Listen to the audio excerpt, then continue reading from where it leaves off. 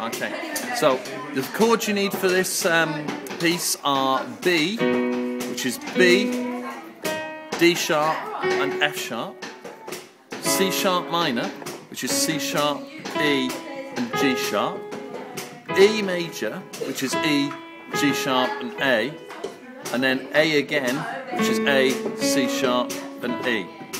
So that first part of the verse goes B, C sharp minor, E major, A, B, C sharp minor, E, A. And then it mixes it up. C sharp minor, A, E, B, C sharp minor again, A, B, and that's the entire verse.